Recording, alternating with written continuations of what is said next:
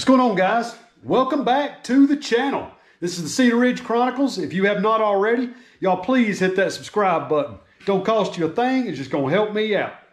Today, I've got a little bit of a teachable moment that I thought I would make teachable. So, what I'm gonna do is, I've got a form today that I've got to put this deer together.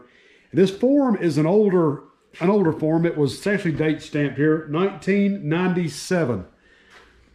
And you can see there is very little uh, exaggerated detail. The deer has got detail. I mean, it's got veins, it's got some musculature, but as the forms have gotten newer over a period of time, especially in the last about three years, they've started really exaggerating these features because I guess what they came to find out is even though the deer has got a little bit of detail and definition carved into it, by the time that you put the cape on there, the, the hair and everything else just really doesn't show up those details. And what I've kind of figured out over a period of time is I can take modeling clay and I can I can build those details up where they need to be built up and also add a little bit of a nose bridge, uh, which they started adding on a lot of the newer forms too. Uh, the old ones had a little bit more of a snout to them. You can see right there, it, it it's it's it's really flat right here and then kind of comes out to the nose. And honestly, I mean, there's deer that look like that. I just don't like the look of it as much as I do with the not a huge Roman nose, but a little bit of a slope that goes down to the nose pad. I just think it looks really nice when you do it that way. So what I'm going to do is I'm going to use the modeling clay. I'm going to build this up the way that I would on these older forms and show y'all how I do that uh, to give y'all an option of something that y'all might want to try on a form that's older or just doesn't have enough detail. Also works great with northern deer where they've got really long fur. So let's get going.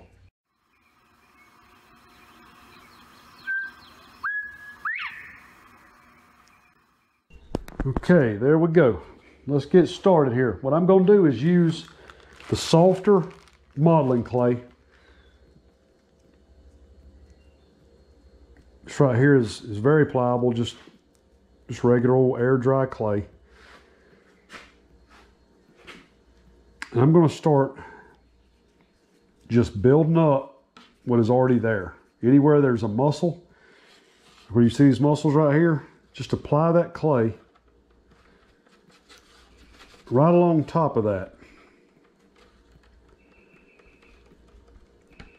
And flatten those edges down to the edge of the form.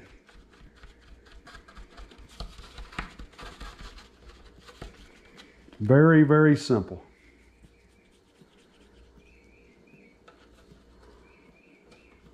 I said, all you're doing is exaggerating what's already there.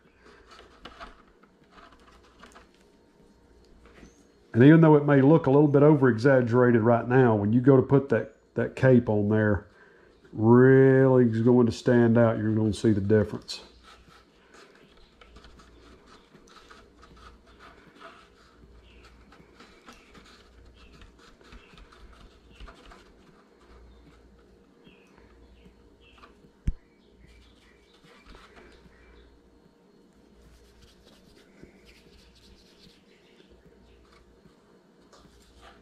Go ahead and do your veins in the nose there.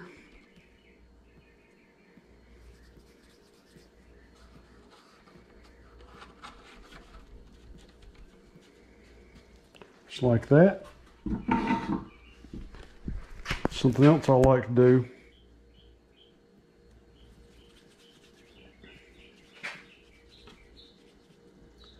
is the lip. And let me show y'all something too while I've got this, while I've got this on here. When y'all go to do your lip, when you go to cut out your mouth, go ahead and cut it large enough to where you can tuck it comfortably. There's no reason to get it so tight that you're having to force cape in there and possibly break off part of this foam. If you use a, a cutting tool that's just big enough to make you a slot where you can tuck comfortably, you can take your modeling clay and when you're doing this step right here, stick your bead of clay in there. Like that. That's all you have to do. What that's going to do is that clay is going to press itself out of the way. As you go to tuck that in there, it's just going to press right out of the way, but this will hold the skin tight to itself, just like the foam would, except that once you get everything tucked, you can actually mash on this clay and smash those two sides of the mouth together where they make a nice fine seam right there.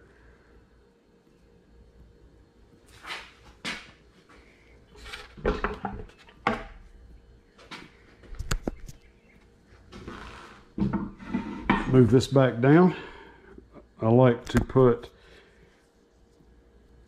a little bit in the tear duct. Let me show y'all what I do to the bridge of the nose here.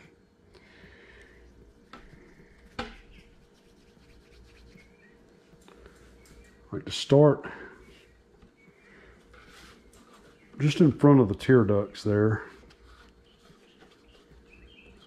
and just come right down the bridge of the nose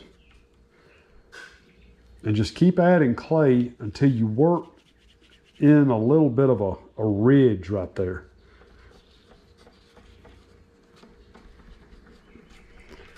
You see, it's, see how that's starting to kind of hump up. Then you want to flatten down the sides of it into the bridge of the nose.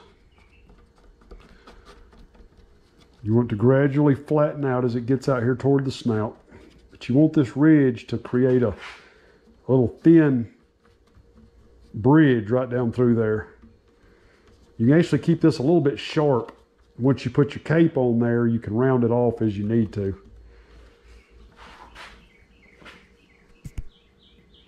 And then when you get down here to the nose, rather than have this little snout right here, I like to fill that in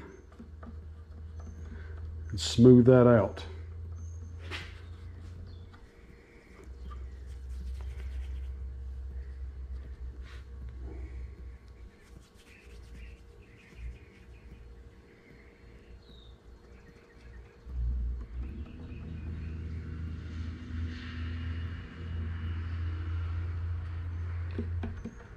So that transition comes right down into the top of that nose pad right there. And I'm going to do the exact same thing on the other side. And then once I get this cape put on here, I'll show y'all kind of the finished product, the difference, what it looks like. show y'all one more spot that I forgot about. It's the bottom of this chin.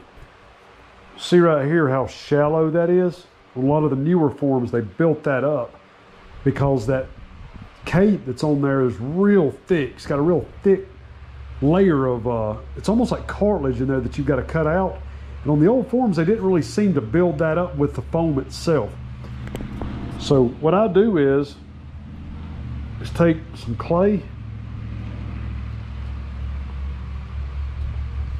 and build that bottom of that chin back up to where it's almost uh, in kind of a kind of a big square block shape.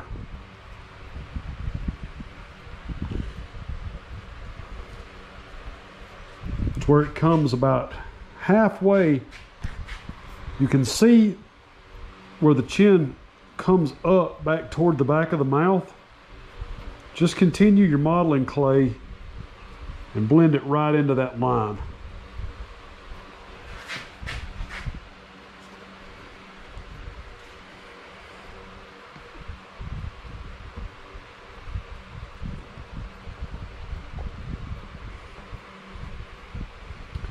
Just like that right there. Like I said, looking at it right here, it probably doesn't look like much. But once I put this thing together, I think y'all see what I'm talking about. All right, guys, about got him roughed in. Let's take a look at him. Y'all can see how exaggerated that is now. With the veins going down through here, the muscles in the side of the face, around the eyes, the tear duct. And you see the bridge of the nose. It's got a little bit of a hump in it right there, and it just comes right down into the nose pad. I just really like the way that that looks. It's a little hard to see on this camera because it's you know, I got it in kind of fisheye view right now, but y'all get the idea. You can also see on the on the front jaw how square this is. That squares up with the side of the nose and just makes it look like a more mature buck. This buck right here probably isn't but three years old. He might be a four-year-old, uh, but on those smaller forms like that, it really gives them that, that look of that mature buck face. And the face is just, I mean, it's 99% of the whole mount. The neck on this deer isn't, but I think it's a 22 inch neck. But just by cutting in a little bit of, a little bit of detail, add just a little bit of musculature, you know, once he displays up on the wall, I mean, it's just going to be a beautiful mount. He's just going to turn out really good. And he's going to look bigger and a little bit more mature than he actually is, which I think is what every deer hunter wants when he puts a trophy up on the wall. So anyway, guys, I really appreciate y'all watching. Hope y'all enjoyed this video. Y'all hit that subscribe button. We'll see y'all next time.